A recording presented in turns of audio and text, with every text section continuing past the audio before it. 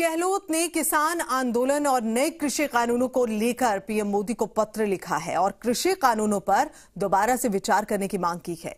केंद्र सरकार की ओर से बनाए गए तीनों नए कृषि कानूनों के बाद राजस्थान सरकार ने जो संशोधन किए हैं, उस पर पीएम को पत्र लिखा गया है। पत्र में यह लिखा गया है कि केंद्र सरकार द्वारा इन तीनों बिलों को किसानों और विशेषज्ञों से चर्चा किए बगैर लाया गया है। संसद में विपक्षी पार्टियों द्वारा इन बिलों को सिलेक्ट कमेटी को भेजने की मांग को भी सरकार ने नजरअंदाज किया है। इन अधिनियमों में न्यूनतम समर्थन मूल्य का ज़िक्र नहीं है जिसकी वजह से किसानों में अविश्वास है।